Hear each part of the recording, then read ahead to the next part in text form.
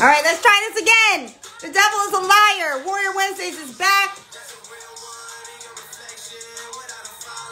Without a mention. So the devil was trying to get into the womb, and I ain't having it because we have a live to birth. I see y'all coming back into the room because you're faithful like that, full of faith. I love it. All right, look. I'm going to bring her on because her theme song is on right now. And she's going to tell you a little later why this is her song. But you better be dancing, Jordana, when you get on here. Hey! There we go. Can you hear it? Oh my God. Can you hear this? I can hear you. Can you hear me? I'm good? Yeah, but can you hear your theme song?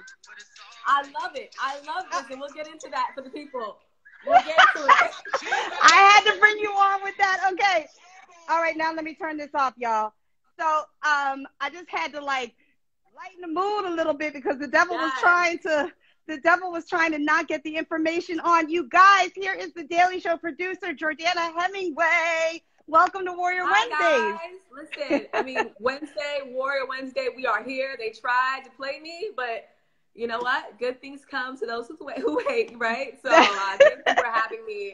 I appreciate it, and I'm just so inspired by you and this community that you have um, created because I think this conversation is super important. So I'm just happy to testify. Yes, I'm so happy to have you testify. This is the most beautiful tribe of women and men. We had men on two weeks ago talking about their journey through infertility with their wives or even with themselves, and they were open. And now we have you here, and we had a very long conversation about your journey, about a topic that is so super important and often undetected um, by women, which is fibroids. So I want to start at the beginning. Um, Mama Sue is here. She says, Y'all kept that faith. Yes, Mom. Hi, Mommy. Mommy is back in the building. so I want to start at the beginning. back, Yes. Mommy is back. One of the first questions that I asked, since this is a fertility support talk show thing, is Did you always want to be a mom? Do you want to be a mom? What's the journey of motherhood for you? I do, and that's why it was important for me to kind of conquer this right now because I, we are actively trying. So I need some more manifestations, more positive vibes from you because I'm trying to bring in uh, a baby soon, a baby and a dog, and I'm going to manifest it. So um, that's why this conversation of fibroids is so important to me. And I'm like, well, damn. I feel a little bit alone in this, and then I realized with um, your page and um, our, our mutual friend Don Terry, like just talking about it kind of helps. Um, Yeah. So I, that's why I think it's so important for me. It helps everybody. You have Samantha in the building saying, Hey, JoJo. So is JoJo your nickname? Yes, yes, yes. And right, T we're to call you JoJo. You can call me Okay, JoJo. That's perfect. perfectly fine. All right, we're going to call you JoJo because you're family now. So let us know, JoJo, about your journey um, with fibroids. And can you start by telling us before you discovered that fibroids were happening? Can you start by telling us a little bit about the history of your menstrual cycle? Go- Okay, yeah, I'll take it all the way back because I think this is super, super important. So I was always, I'm going to go back to the eighth grade. Okay, let's bring it back to when you're in middle school and everybody's having their period. You kind of want to have your period because you're like, ooh, what's wrong with me? You know, I want to become a woman and all that. And I was one of the last people, like the last girls to actually get their period in my grade. And I remember me being like, what's up? You know, and then I finally got it. It was a regular period. I remember going to the, the playground, be like, I got my period, y'all. They're like, girl, you did. I'm like, "Yeah, yes, I did. You would have seen it like gross. I'm like, you know, I really was so happy to finally have that new chapter because I think in the movies and the books you read, it, it's the becoming. It's a new version of you. You're no longer a child. You are, you know, my mom was like, you're, you know, you have blossomed, you bloomed, and all this stuff. So having my period to me was always important. And I remember back in the day, you would necessarily track your period like how it is now with these apps and your Apple Watches and you know Clue or Flo, whatever you use. It was more like, okay, I have a journal, I write it down, and my period was always very normal. Um, I didn't Mhm. have any crazy bleeding. I didn't have any crazy cramps. I remember um, a friend of mine, you know, she would be like, I passed out during my periods. I, you know, and I'm like, I don't have those problems. I felt like my period was very normal. It was like, okay, you know, and um, me being old school Haitian, my mom didn't allow me to wear tampons, but whatever. But even mine either. Was, yeah, right. um, but even in a pad, I just had like regular bleeding. So um, I go to high school, same thing. It's until I get to college, you know, we're all family here. When people get, you know, sexually active, I'm like, I gotta get birth control. And listen, I'm out here doing it. right. Know, I, we have all walked that walk, honey. When we when it was you know? well, maybe not all of uh, us.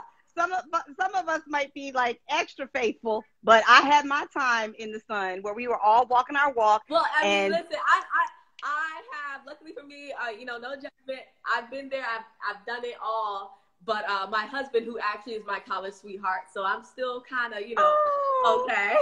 I'm still okay. But uh, you know, we were sexually active, and I was just like, I need to get on a form of birth control. So um, because one thing I knew, I could not bring a baby home, and I was like, I I can't, not at right. that age. I have to finish college, whatever. So I start taking the pill, and then I was just the typical person who always forgets to take the pill, and I'm like. I don't want to make plan B a habit, right? That's not what plan B is for, right? Right, so right. I, I need something more um, just I don't have to think about it. So that's when I actually even tried the Depo shot. And I would say that's like my junior year of college. And I'm like, oh, I don't really like it. I'm hormonal. I actually blew up. And it wasn't like I was big everywhere, but it was like my face. I was dealing with acne and I never had acne. I'm like, you know what? Not for me. So mm-hmm. after college, um, I graduate. I'm like, you know what? We are in a long term relationship. Let me just get in a an IUD right now, you know, mm-hmm. because mm-hmm. we don't see ourselves having kids anytime soon. Um, and we were fine. So life is going well. I would say before we got married, uh, we got married in 2016. And I'm like, you know what? Let me just make sure everything is okay down there, you know? Um, because now you have an IUD, which is regulating your periods to a certain extent. And, exactly. and was that IUD also regulating your flow? Exactly. It sure was. Exactly. Regulating your flow. So, so because I've been on birth control as well. I've been on Yasmin and many different types. And for me, they were always just emotionally, they set me on a spin. But one of the things that they do, you guys, just so you know, you guys, you gals, people with ovaries, people with sperm, is that it sometimes regulates your flow to the point that you might not be sensitized to what your body is naturally doing because there is a hormone that is telling you clock to clock what your flow is going to be like. So if there is an underlying condition that a heavy flow might point you towards, sometimes the pill or an IUD might mask that. Is that correct, yeah. do you think? No, mm-hmm. that was correct. So, um, and I found, here's the thing, I knew from early on, even in college, like I would like to have a black doctor. And I, that was, you see how now that's a conversation from now. But to me, it just, it felt good to have someone that looked like me. And um, let's go with this guy named Dr. O, right? We're not gonna get into it. I ain't gonna get no lawsuits, right? But uh, Dr. O was a Dr. O was a black man, and I was just like, it's a little weird that he's a man, but I'm actually like not even mad about the man part. I'm like, whatever. We're this is science, you know. Um, and he had, and this is when I I should have really known better, right? But woulda, coulda, you know, whatever. We learn in the uh, process. We learn yeah, in the journey. The process. Uh, the IUD. I go for this checkup, and the IUD, he's like, oh well, you know, the string is kind of missing. Um, we might, I don't know if we might have, you know, lost it. I'm like, what? What you mean? like.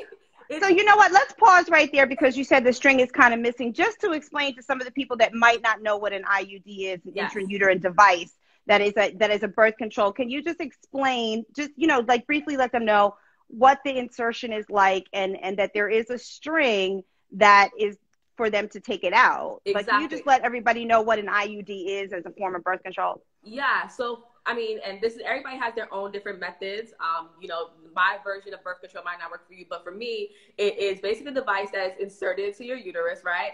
And it basically it looks like a T shape, and then there's a little string that comes out.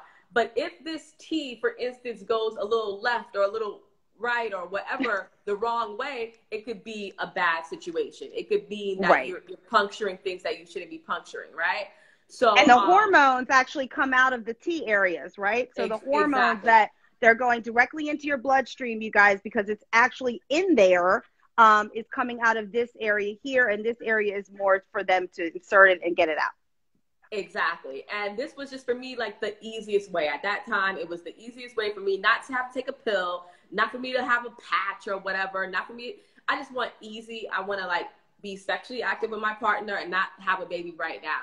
So when Dr. O tells me that he can't find the string and, you know, the words of like, ooh, like his face, I, but I, he's a doctor, right? I have to trust him. He knows what he's doing. And, but I did panic. I said, you know what? Can you just please take it out? Because the fact that it's lost right now is not comforting to me. I need you to take this out and I will figure it out with my partner from then.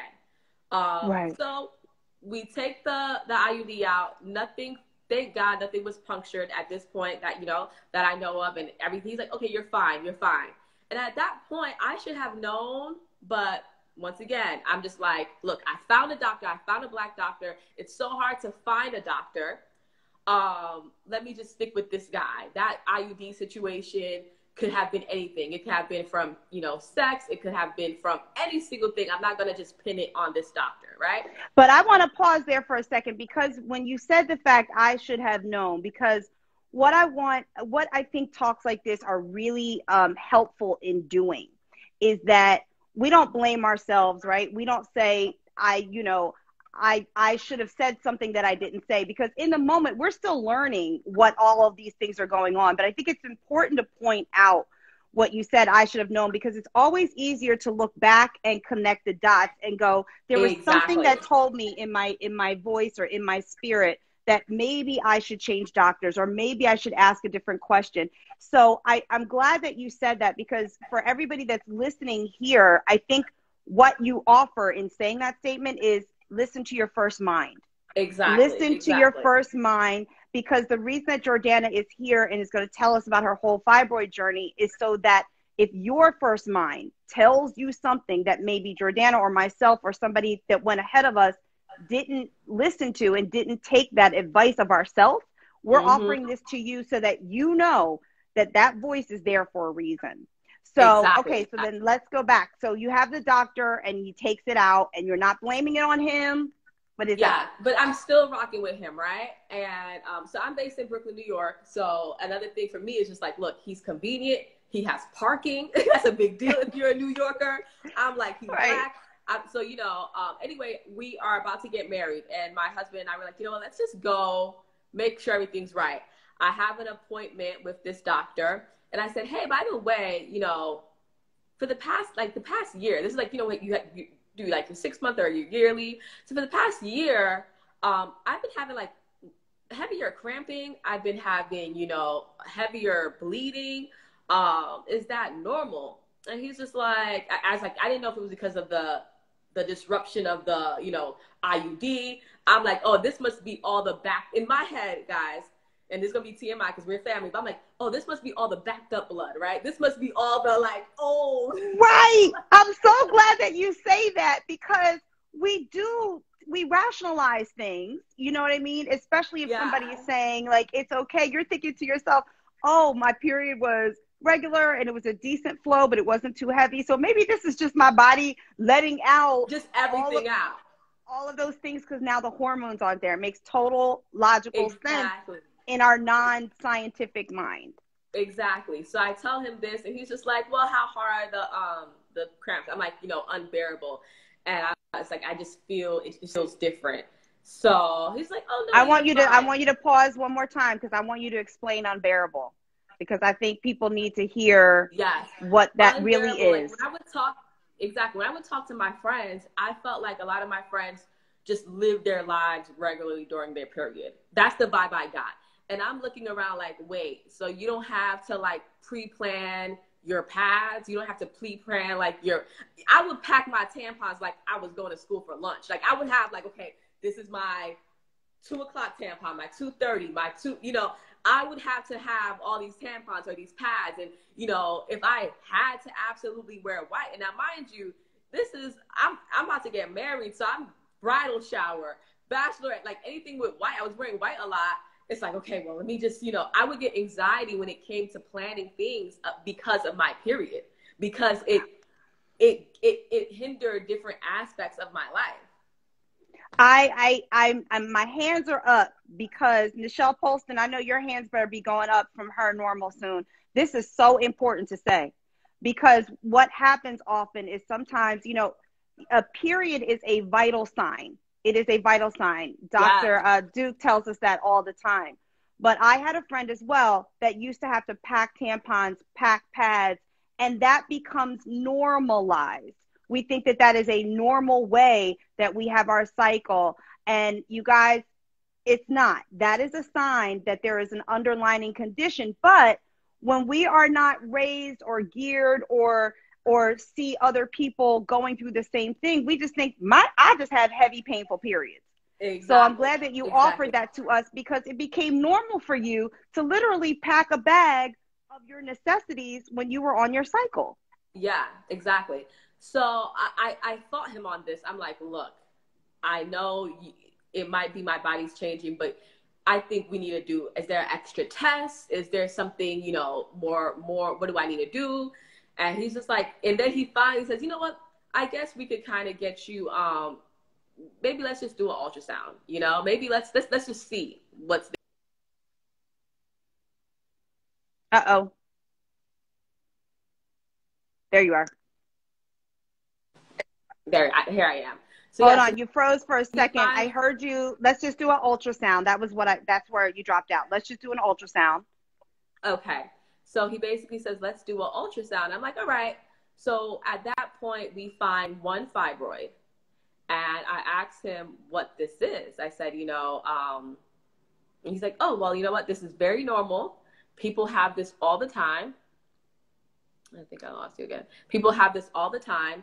Um, no big deal, no big sweat. He's like, that's what's causing your heavy, uh, your heavy bleeding.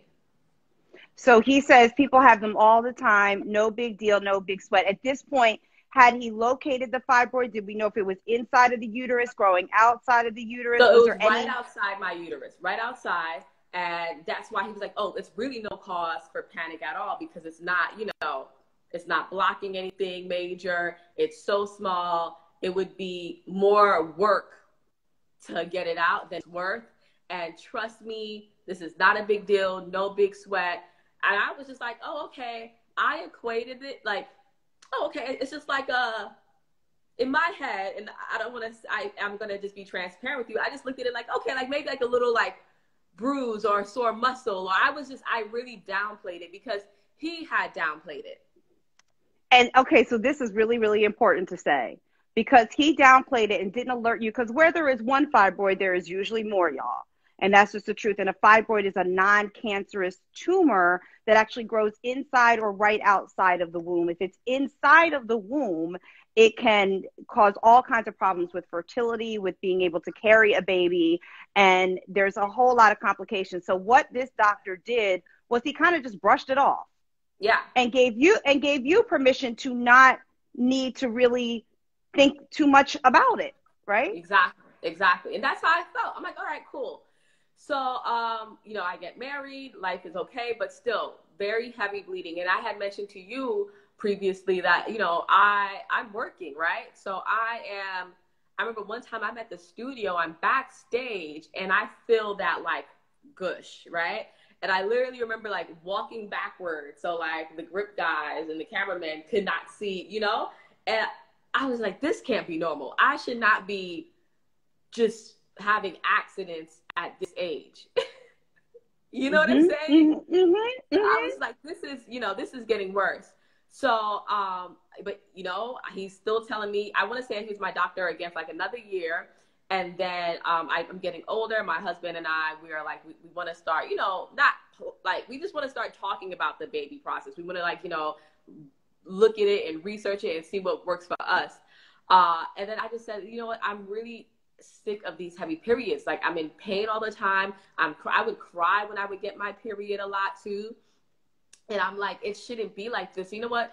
Before we, you know, start really talking about this, let me just do some more research on other doctors and try to get a second opinion because something doesn't feel right. this still doesn't feel like a normal period to me. Um, and this can't be life because I would have, you know, until menopause, I would have years and years of this. You know what I'm saying? Okay, somebody pause right there. Somebody write in the comments in all caps, this cannot be life. I love that you I love that you said that. Somebody, Nichelle or Ebony Ford that's on here. Nichelle Polston um, wrote down that she had fibroids in her uterus. She had there are four types of locations of fibroids. You guys put some prayer hands up for Nichelle, who's recovering for a myomectomy right now. I love you, girl. But um, love I love that. This cannot be light. We need to love write it. that down because that is a declaration of saying, mm-hmm. Jenny 12, thank you for putting it down there. Uh, Malika, thank you for putting it down there. That's a declaration of saying, I know I deserve better than what's happening right now. And so something needs to be done. This cannot exactly. be what, this is not what he is saying my, the rest of my life needs to feel like. So I love that. This cannot be life. I hope you see all the prayer hands and all yes, this cannot be I life my, because my friends here too. Thank you guys so much for coming. Hi friends. All my friends are here. Um, so I just I, and, and I leaned on my friends. I leaned on their experiences and the fact that they kind of had no more they were like, no, you know, you're right. You're not bugging. If you feel like something is going on, you know, maybe you should try get a second opinion.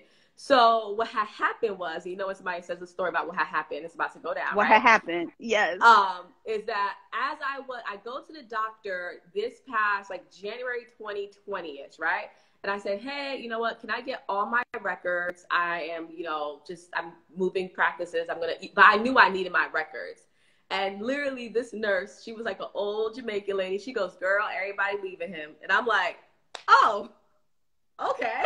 like, Woo! So there was a trail of women that were like, "No more." I was just like, "Oh, okay, thanks," but all right. She's like, "Okay, well, we have to um get you your paperwork. We'll sign. We'll get you some stuff over. Uh, just give us a few. We got to pull it up." And this was actually around like February or so, actually. And then you know March happens, and the end of the world happens, right? I'm like, oh my God, are you kidding me? March 2020. Yeah, exactly. So coronavirus, I'm just like, you know what? Let me just continue to do my research on my own doctor. If I get this paperwork, if I get my ultrasounds, great. If not, I guess I have to start from scratch again. So it is what it is, right? But at this point, since I've had the heavy bleeding and and I'm doing research on heavy bleeding, I'm literally googling what does heavy bleeding mean, and this thing comes up fibroids and then I'm reading because you know you start going on WebMD, you start going on Google, you're like, holy shit. Um, maybe mine are really this bad, or maybe mine are really, you know. So now I have a sense of urgency. I have a, I have a panic. Like I need to find a specialist. I need to find a doctor who will listen to me, who is not going to tell me I am crazy, who's not going to tell me I'm, yo, you know, it's fine, you know, let's not dramatize things. And I'm like, and he literally, I remember one time he said, you know, maybe you might be a little dramatic. And now looking back at that, I'm I'm speechless. You know what I'm saying? As, a, as am I. As am I. Know?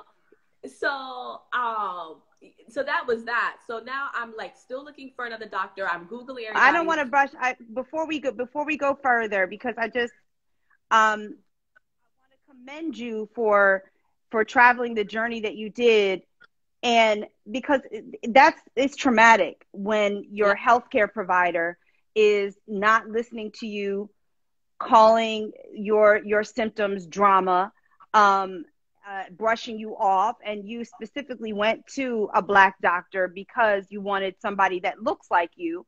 So we talk about the health disparities here and the internal biases. And and i just think that we need to point out um, you know from your story that I don't care what package it comes in. If someone is brushing you off, if someone is taking your words and weaponizing them against you when you're trying to advocate for your body, it is time to to find a specialist. And it is yeah. time for you to hug hug yourself really, really tight and know that you are you are capable of taking care of yourself and that you did not get the care that you deserved in that moment and the moments prior. So I don't care what package it comes in.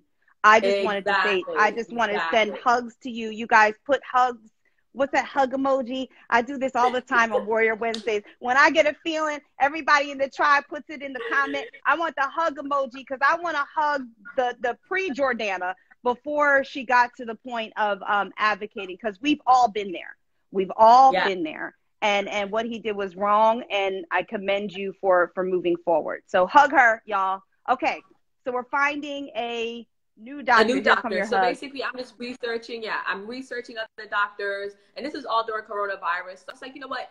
When they open up back appointments and when the hospitals kind of like stabilize, I want to be I want to have appointments, you know? So, and then me being, you know, the producer, I'm a planner. So I'm like, okay, well, this doctor, I would like to, you know, have a doctor that could be my, you know, OBGYN and somebody who's going to be with me for my baby journey, someone that's going to deliver my child. So I'm like planning, okay, what hospital do I want and what kind of, you know? And at this point, since a black doctor had, um, had kind of led me astray, I was more on some like, look, I want a doctor because all doctors are not good doctors, right? And my best friend, like, she's a doctor, and she's like, you know, they're they're normal people. You know what I'm saying? So I'm like, I want a doctor who's gonna listen. So the first specialist I found was a white guy, and I was just like, know what? But let me see. So I'm asking him about like, it's a job interview because I'm spending, I'm going to spend thousands of dollars with you. You know, you're getting paid. If I become a patient of yours, I need to know what you think about this fibroid. I need to know what you think, you know, what's going to be your approach, what kind of surgery, what kind of, how are we going to, you know, um, how am I going to be able to have a baby? I'm asking you about the black maternal, you know, mortality rate. I'm asking you questions because now I am you are working for me. And I think so many people, I feel like, because my mom, for instance, you know, as I mentioned, like I'm in Brooklyn, New York. I was born in Haiti. So my mom comes from the world where you get dressed up to go to the doctor. You have to like basically impress this doctor and you don't want them to stereotype you, you know? No, you work for me.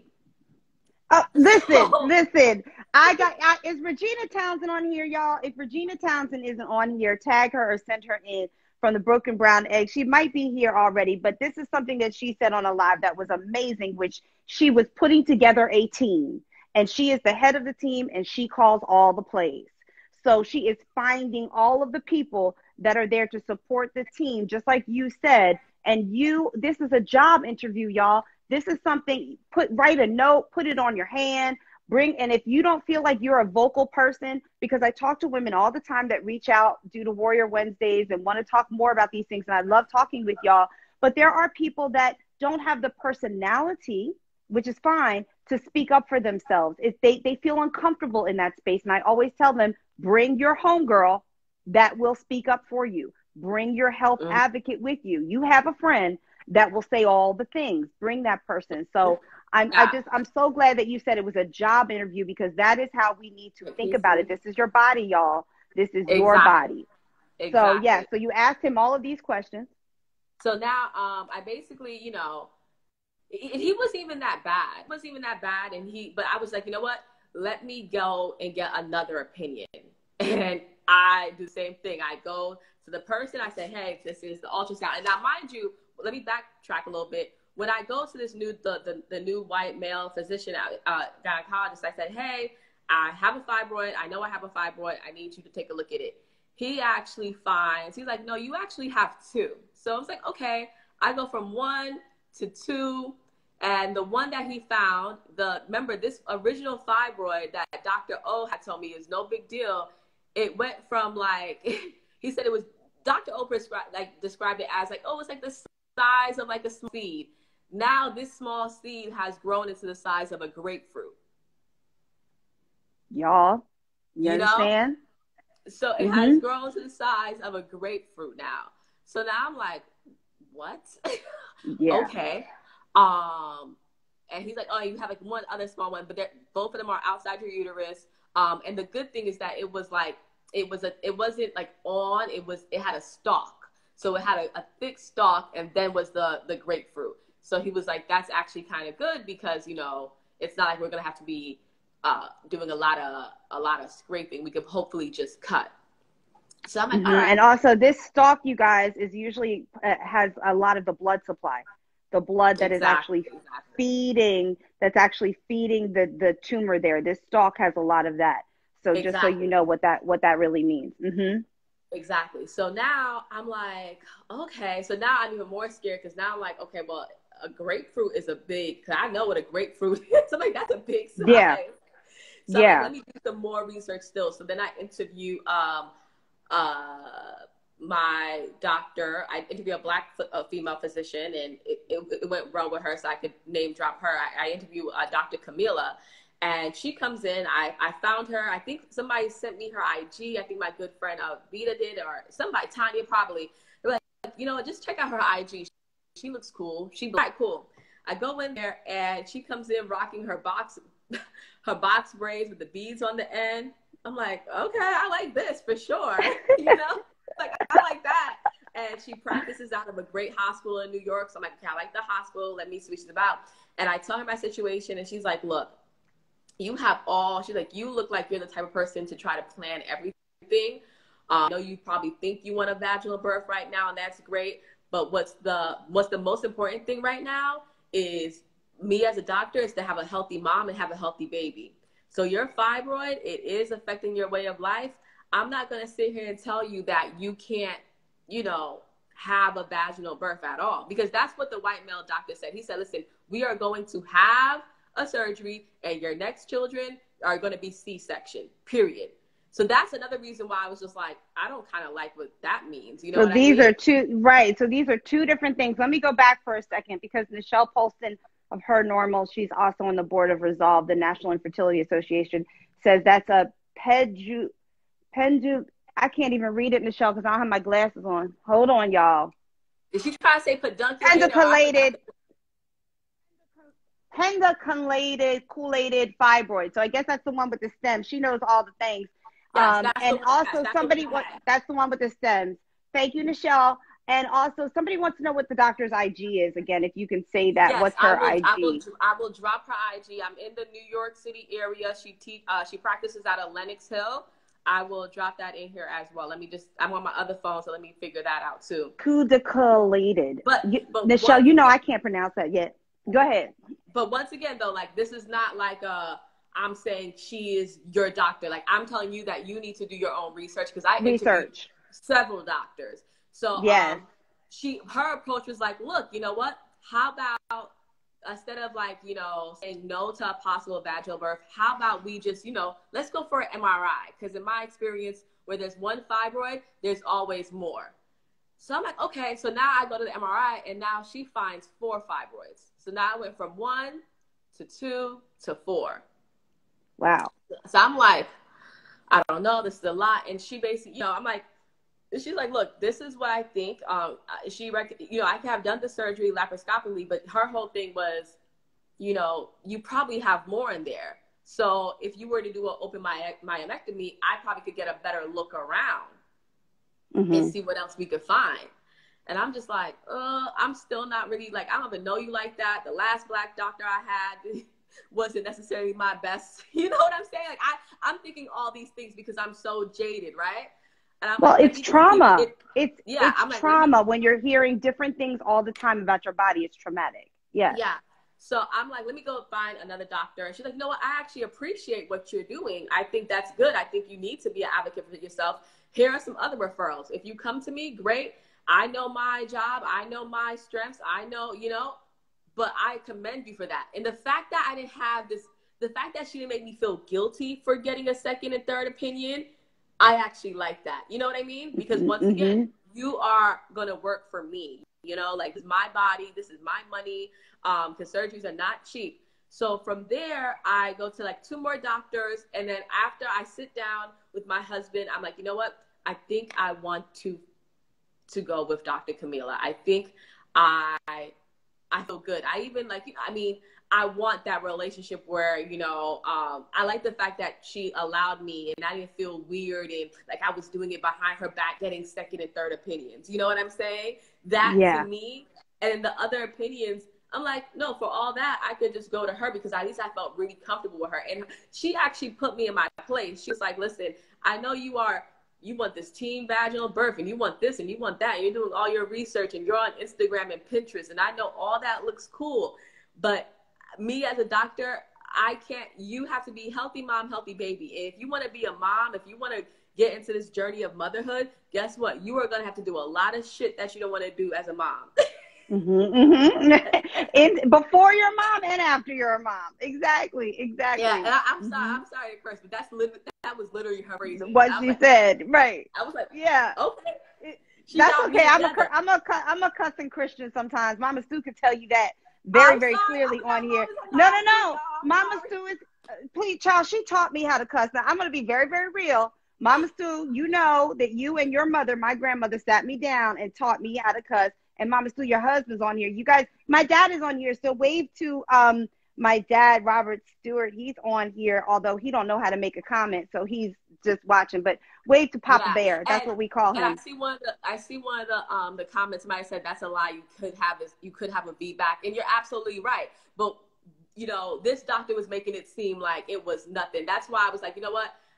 I don't want to go to the doctor where his first option is like, it is what it is. You know, take it take it or leave it. And I didn't like that. So at least with her, I like the fact that she was gonna, you know, um, just see what we could do. And then after doing the research on the open myomectomy, I was a little scared because it was real surgery, right? I'm like, yeah, I feel like the laparoscopic is it looks a little easier. And um, but I'm like, you know what? I think she might be right because if I went from having one to having two to having four, I just kind of want to do like, and I know that um, sometimes the fibroids come back, and I could get into that later. But I was just like, let me just do the open myomectomy because I'm working from home anyway. I had planned it around. Um, I had planned it around my vacation time anyway, so was I wasn't even gonna be working from home or working. You know, uh, it was around the holidays, and I said I'm gonna do it. So I spoke with her, and she, um, the one reason too, and I now I'm more confident in my decision making. Now I'm calling my doctor. I'm calling her, and she's answering, which is something that the other doctors never did. I'm calling her, and she's like, "Oh, hey, girl, I'm at the hospital, but can, can I call you back like in 40 minutes and she's actually calling me back. So to me i'm like this is a new relationship. This is a new dynamic because i'm like okay this is what i need. You know what i mean? This is the kind of relationship it should be because you are you just said the thing. You said the word relationship.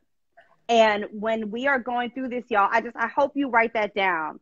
Um, when when when jordana said this cannot be life and write down the word this is the relationship that i was looking for because it should feel like a relationship with your doctor. Yeah. it is a journey. You don't yeah. get one fibroid and go through all the things without going through an entire journey. And I know, I know that there's a lot of comments on here. The comment that you read about the vaginal birth that's from the princess warrior. She's all the way in the uk what's up princess warrior? And there's a lot of comments on here but you guys i just need to preface that that jordana and i are not doctors but we are sharing these experiences there is a path for everybody that they must make their own personal decision.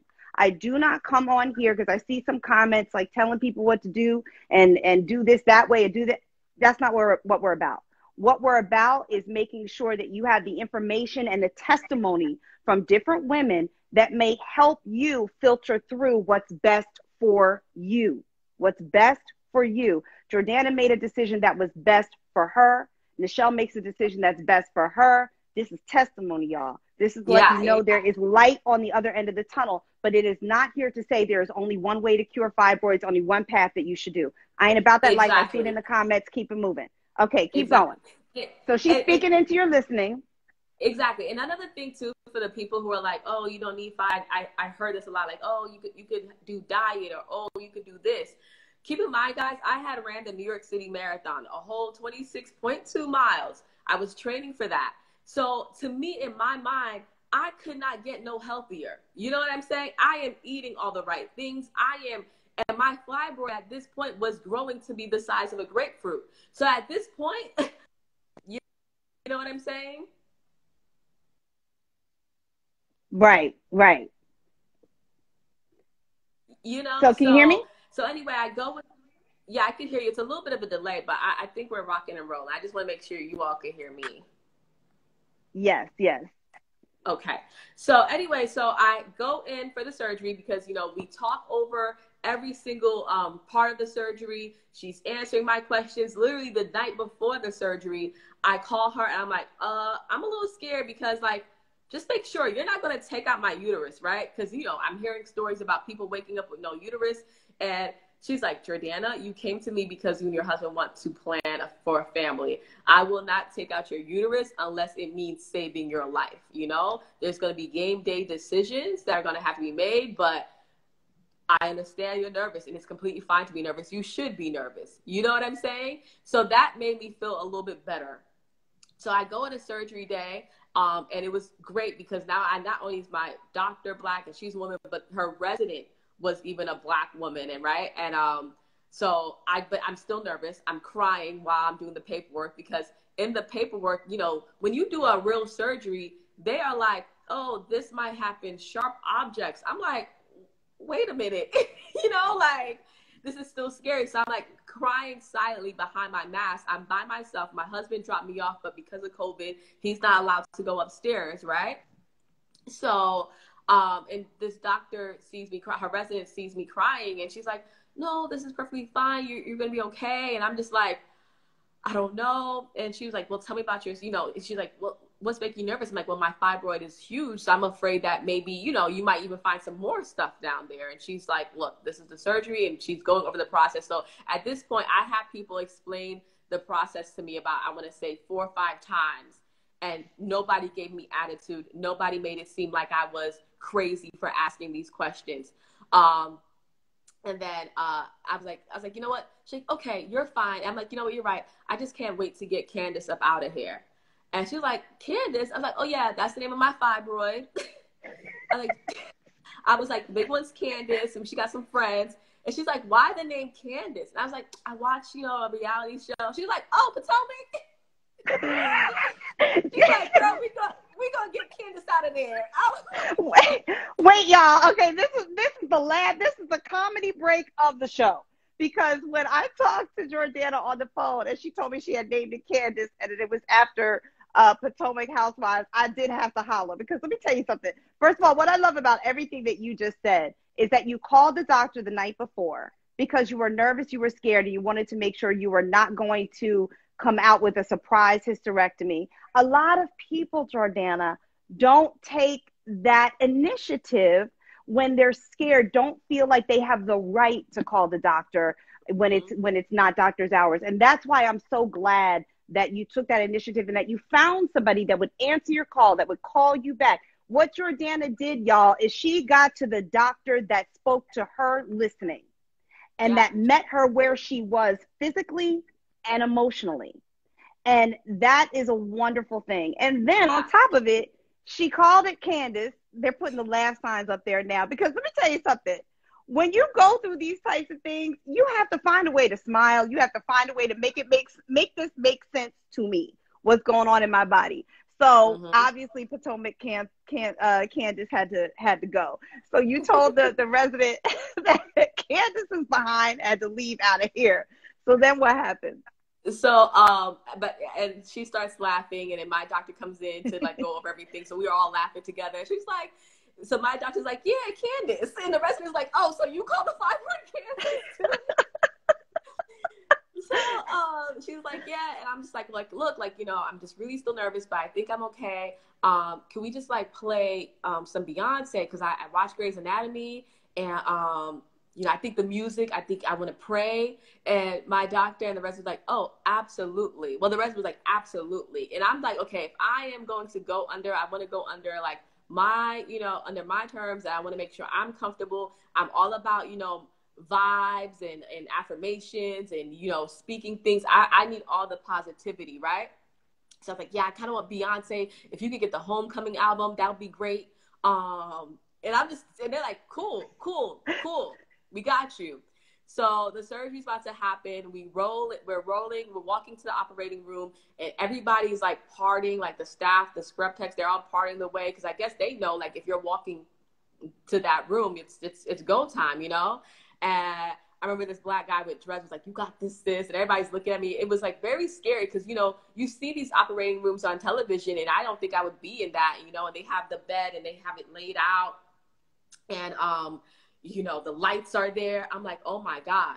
Um, and my, my friend who's a doctor, she had said a prayer like, you know, God, please, please bless the scrub techs, bless the nurses, bless everybody, because that whole team matters. You know what I'm matters. saying? It yes. matters, you know? Yes. Um, So I get in the room, and the doctor at this point wasn't in there, but the resident's there. And remember, she was she's another black woman, and and um, I'm like, uh, hey sis, where's the Beyonce? And the scrub tech is like, oh, they said that you wanted music, but like, I'm all sterile right now. If you want, like, you know, he had a mixtape. Like, this is a this is a good mixtape, you know. And I'm just like, I'm already like, sis, I want him at Beyonce. We're gonna wait. we're gonna wait so while we're waiting, um, the doctor comes in and you know, everybody's scrubbed in and all that stuff. And um, I'm like, hey, can we just wait for at least a song that I kind of mess with, right? At least a song. And my doctor's like, absolutely. While we're waiting, we, um, cause you know, he was like, I can't, and I get it. He's still, I can't make this man take off and redo all that stuff to get um, B on. Yeah, I can't, I can't be Beyonce in this moment, right? um, but we say a prayer. Um, I lead the prayer. I basically say like, you know, God, this is what I want. I'm trusting you. I'm trusting the staff. God, I'm trusting. I was like, please. Now everything my ha- my friend had repeated to me in the prayer, I said to them, I was like, God, please bless these scrub techs. Please bless this. And I had all their names. So you you led the prayer amongst your surgery team. Do you guys hear this? Yeah. You led the prayer amongst your surgery team before you went under. Yeah. And and you said the words that you needed to say to God, you needed him to hear and talk yeah. to you and you did and sh- y'all hear what this is? This is life. Oh. no, I want to cry, but it's like ooh, I hate this. But it's like so scary. You know what I'm saying? I do.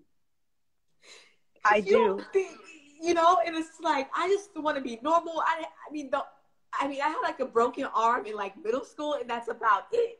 So the fact that like this thing that was said that it wasn't a big deal has taken over my life. You know, it.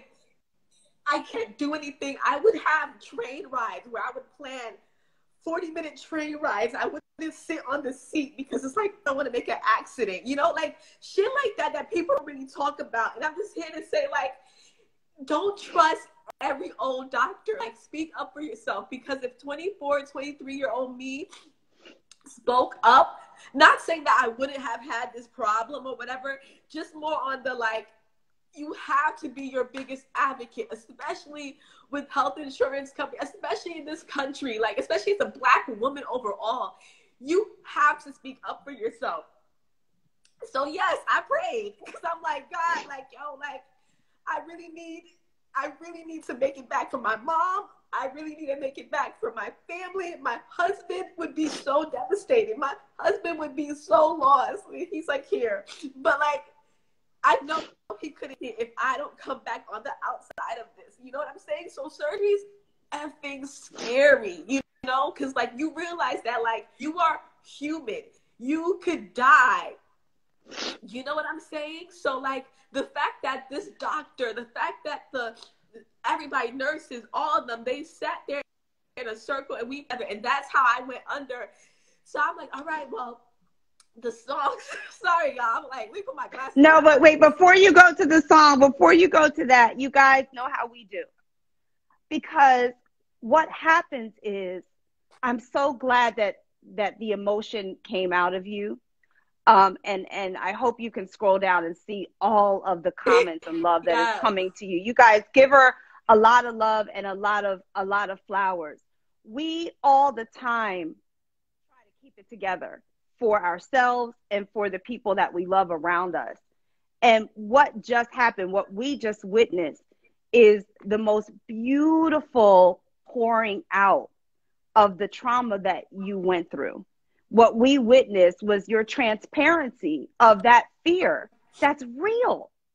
And so you freed yeah. somebody by letting that out because what happens is, is someone else that's holding on to it trying to act like it's not a big deal, even though they're terrified over here at night by themselves, now knows let it out. It is scary. Surgery yeah. is scary. Fibroids are traumatic. Like you said, going so on the scary. train, scared that you're going to have an accident, packing for you guys. This is why we do this. We do this so that you know you're not alone. Your journey is your own, but we you have warriors walking beside you. So I hope yeah. you see all these hearts. And I I'm do. and Thank I'm, you guys. I mean, because it's been such a journey, right? So like I've just been holding this all in, and it's just like I you know, that's why when I saw your page and I, you know, I follow a couple of these pages, it's about that sense of community because it's a lot. It's a lot of stress and, you know, calling doctors, figuring out research and, you know, getting lost on the web. And then for me to make it to that day, right? I'm like, oh crap, this is really happening. This is happening. down, you know, but I'm glad that I put people in positions like the doctor, you know, she came correct and her, her whole, her whole room was correct, you know? So after we led this prayer circle, I'm like, well, I want to manifest a baby and a dog. And they're, they're like, amen. And I'm like, I want to go on vacation pre after COVID. And they're like, amen. We all laugh. so now we're waiting. We are, I'm like, okay, well, let's just wait for like, cause he had a shuffle. He had a mix. so like, let's just, cause I don't want, I don't like this song.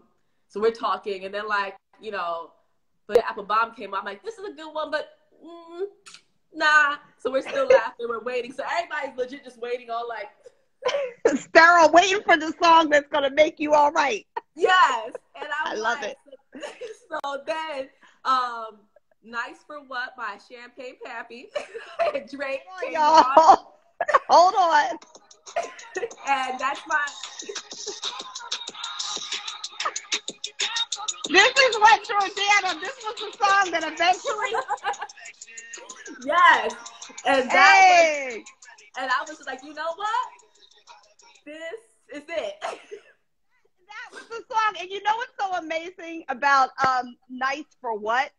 Is your journey with Dr. O all the way to here that the title of that song, Nice for What? You ain't got to yeah. be nice. If somebody isn't speaking into your listening, if someone's asking you personal questions and triggering you, if somebody's telling you you're being dramatic, you just this is what needs to happen. Yes, yes, it's so it's so good, and I see all the cartwheels, the perkins, the sunglasses. Yes. oh I love it. Know, I, that's what I'm like. You know what? And mind you, they have me scrapped down. You know how they have the thing and they have the you know the IVs and all. And I'm like, yeah, this is my because I just remember my vacation to NOLA. I was in NOLA when this song dropped. My girl, I'm like, all right, this is a good one. And um, and then everybody was like, good choice, good choice. you know, that, that's the, I hear nice for what? I hear, you know, like, I'm like, are you guys going to count down? And, and, and then I was, I was out. So now I wake up and get this, guys. I wake up to my doctor holding my hand. I'm still a little woozy. Um, I'm, I'm in a lot of pain, but that's a little, that's normal. And she says, Jordana, we found 12 fibroids. 12. So you went in thinking 4 mm-hmm. And when you came out of surgery, she said, We found 12. Yes, 12. Mm-hmm. mm-hmm. So I'm like, Wait, what? She's like, Go to rest. We'll, we'll go to sleep. We'll talk about it in a few. I'll be here when you wake up. And sure enough, she was there when I woke up again. And she was just like, Listen, I'm really glad with how the surgery came out. Um, your uterus actually is in good, good shape uh, luckily for me, and this might not be the case for many women, but most of my fibroids, well, actually, all of them were like outside. So she didn't mm-hmm. necessarily have to do tons of scraping or, you know, and the big one, which what we were really concerned of Candace. She, and that's another thing. She, when I woke up, she's like, we got Candace, we got all of them out. she was like, we got, I, you know, I was like, we got the green eye bandits out. Like, so if you guys follow Potomac, but okay, she was just like, so that kind of, you know, added, um, some laughter to it, but she was like, no, and all jokes aside, like we, we found 12 and you're okay. Um, your uterus didn't take any real damage at all. Um, Amen. And she was just like, you know, I'm actually so confident before I think, you know, most people, because before she had told me maybe wait six months to start trying.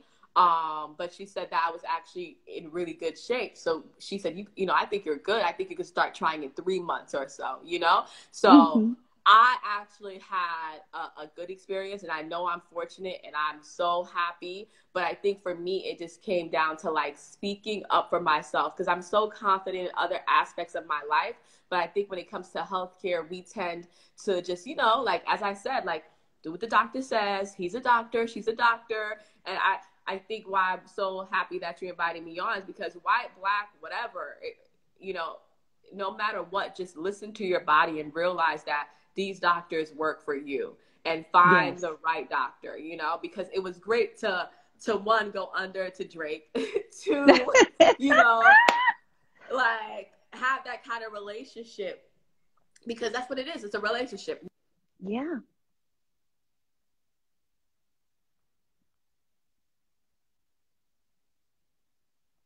Uh oh.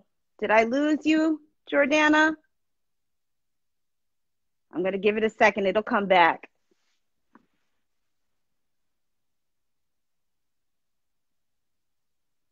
Let me see, y'all. Can y'all hear me?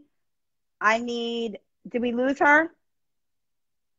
Somebody send me something. Y'all here? Did we lose Jordana? Are y'all here? Jordana, if you're if you're watching, jump back on because we just want to get some last words for you because you were just you were just giving us our life there at the end about the relationship. And I think I lost you. Vanessa, hey, how are you all the way from the UK? Vanessa Hay, you guys follow Vanessa Hay. You will see her on here. She is a infertility, infertility advocate in the UK. Follow the Princess Warrior. Follow Nichelle Polston and her normal. I can't hear Jordana and we lost her. So I'm going to wait for her to come back. Um, Regina Townsend from Broken Brown Egg is in the building. What's happening, you guys? Follow Broken Brown Egg immediately. Okay, thank you guys for telling me that you can hear me. I'm going to wait for her to come back just to get her her last words. So hopefully she will she will come back on. Um, say goodbye to us. My mom says, Mama still y'all says we're still here and I am a wreck. Don't be a wreck, mom. Your your husband is on here. He's not able to put a comment up, but your but your bay your bay is on here. Um, I was just so I, you guys know how I am, but I, I love a I love a real moment where the the real emotion of what these journeys feel like come out because that's where our healing is our healing is in this sharing and our healing is being the i'm not going to cry. Yes i might. Being the community of women that i've met here on these wednesdays and every time a new person comes on here we welcome them we shower them with love with flowers. I just need to say thank you to y'all for always holding this space so beautifully uh, preserved in faithfulness and testimony and protection. And and because listen, if there's any crazy comments that goes on, trust and believe the Warriors DM me, you will get blocked. We we don't play in Warrior Wednesday room. Okay, we are the thing. So okay, let me see if I can get her back. Jordana is on. Jordana, you might need to do the request. Did you request? Let me look. Let me look. Let me look. Let me look. Because we gotta, we can't end without you. Come back on and press that request button again. Yes, Regina, that sisterhood. Because for some reason, it won't let me request you. And I don't know why that is. I see you, but it won't let me request you.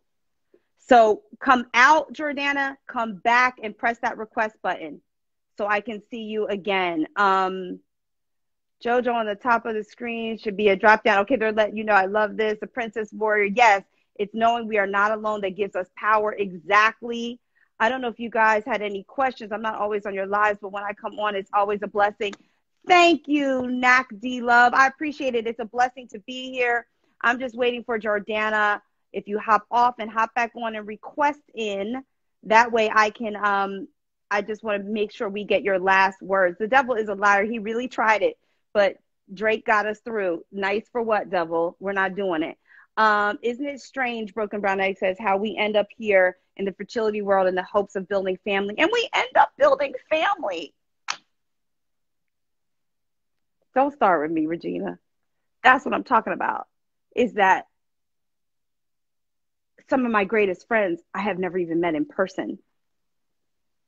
And that's y'all being in this community. And I just I just love the fact that when we witnessed Jordana have have um, that transparent moment that we all knew what to do. We all know what to do, because she's part of the tribe. She's part of the tribe. Here she comes. Yes, Drake got us through. He gonna get us through again. Wait a minute. I think I saw her. Sorry. No, you're good. Oh my god. You are I'm good. so sorry.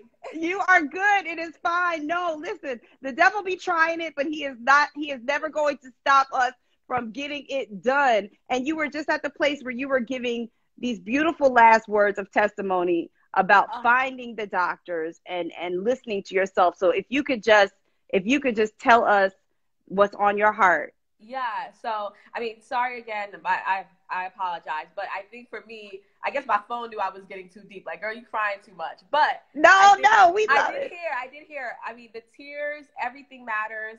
Um, the journey, I wouldn't change it as much as I would like to say I I would, but I don't think I would because I think I learned from it. I think my biggest lesson is listening to your body, trusting yourself, and speaking to your friends and talking to. If you feel like something's not normal, be like, "Hey, girl."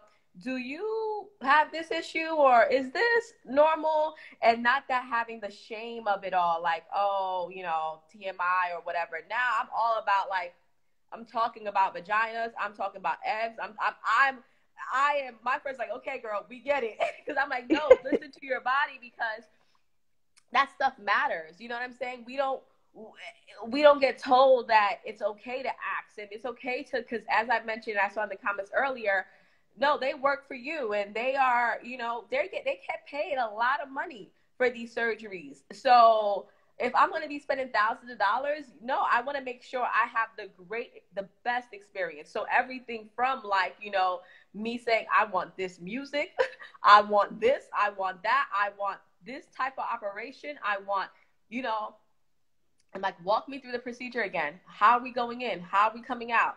What's that for? I'm asking, you know, because, and I'm calling my friend, like, okay, does this sound normal? I'm Googling everything. And I think you, it's perfectly fine to be compulsive, obsessive when it comes to your health.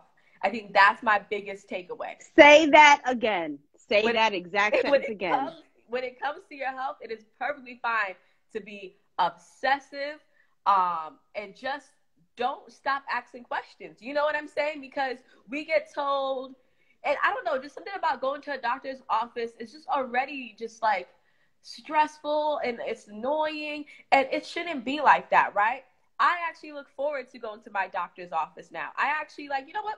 Hey, girl, you know, like Right. now, you know, I I am reaching out to her for anything, and you know, um, when I woke up and she told me I had 12, I was just like scared, but she was like, look, this is what we're go- going to do. This is the new plan. Um, you know, it might be a journey. They might come back. We don't know. Um, and she even mentioned the fact that like there's not enough research on fibroids right now. You know, we got to hold these legislators accountable because like we spend funding so much money goes to like men's health you know Mhm. so much money goes to all these other things but when it comes to fibroids or when it comes to just women's health in general there's not enough funding for it so we just need more research to understand what are they how can we you know work on them and what we have to do because this is uh um, you know, we're dealing with COVID, the COVID pandemic, but this fibroid pandemic is something that's ravishing Black women. Like I am, I know that um, some people might reach out and be like, "Hey, I'm doing, th- I'm dealing with this, I'm dealing with this," and hey, and my husband, I remember when he came to the hospital because you know it was COVID. Um, he was allowed to stay for a couple, like you know, whatever, and he comes in, and I'm like, "Oh, take a picture of me," because you know I love, you know, taking a picture. And then he's just like, "Wait a minute, did you post that picture on the gram?"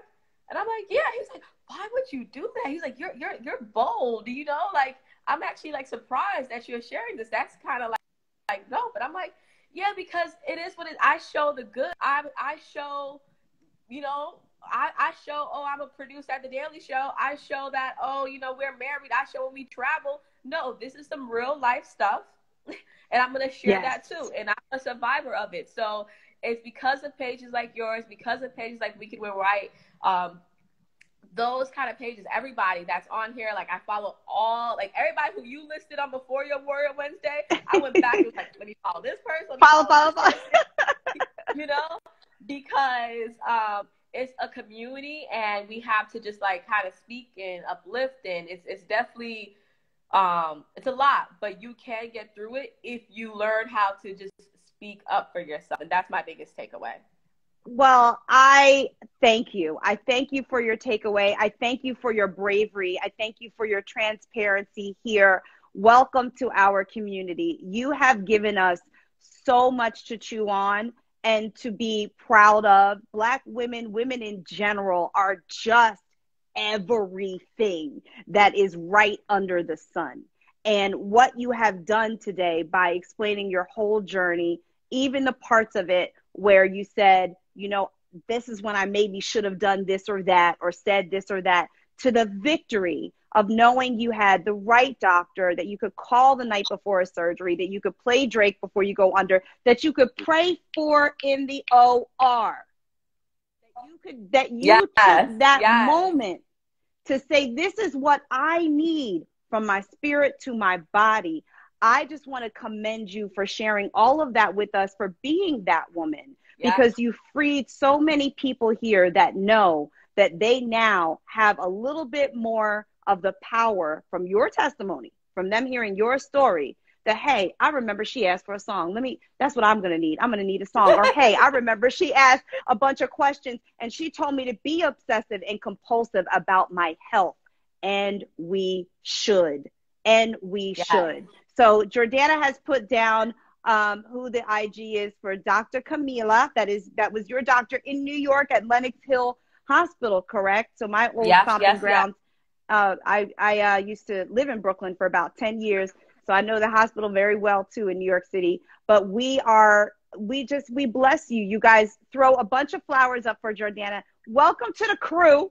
You welcome to the Warrior Wednesday. We had crew. some technical difficulties, so I guess God was trying. I don't know, but that, that was trying to What happens is when we're about to put a blessing out there in the world, the devil gets angry, right? So we just didn't give up. That's all it was. that was that's because the devil knew, oh, this is going to be good. This is about to be good. And he tried yeah, to interrupt, yeah. but we are not giving up because your testimony needed to be heard. So I hope you see all the flowers and the hearts and all, all the things. Joined. I see all my friends here. So thank you guys. And and as I said, do your research. You know, make sure, you know, she might not work out for you, but do your research and find your best doctor. So thank you guys. And thank you so much, Kellee. Like me when I come out there, you come out here. We need drinks post Corona, but post Corona, post Corona. Corona, child. Yeah, we're gonna give it post Corona.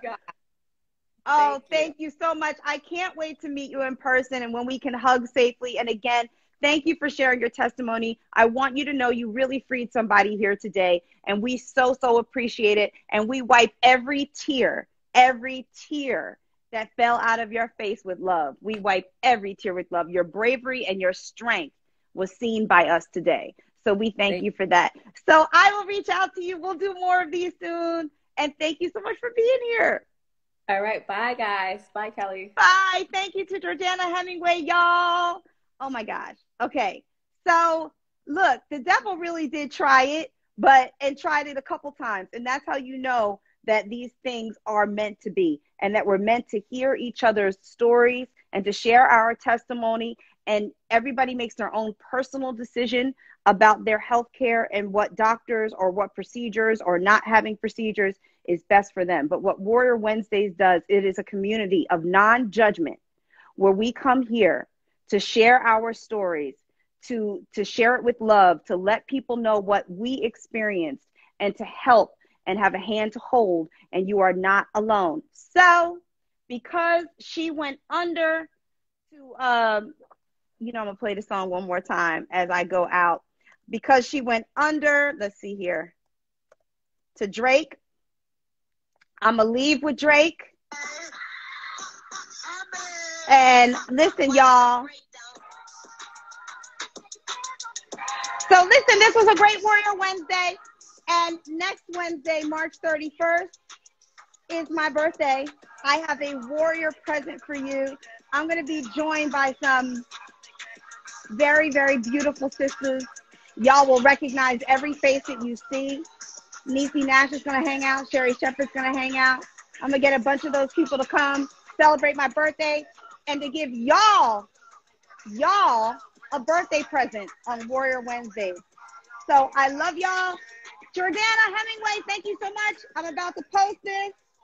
And I love you guys. I will see you March 31st on my warrior birthday. I'll see you then. Mwah. Bye, y'all.